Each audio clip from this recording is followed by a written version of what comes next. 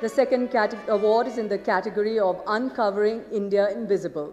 This category is sponsored by NABARD.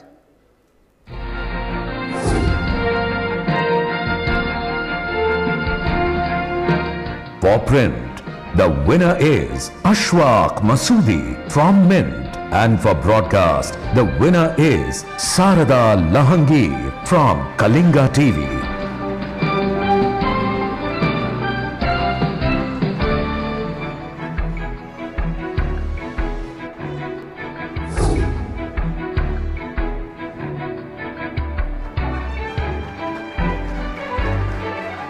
Congratulations to both of you and thank you very much.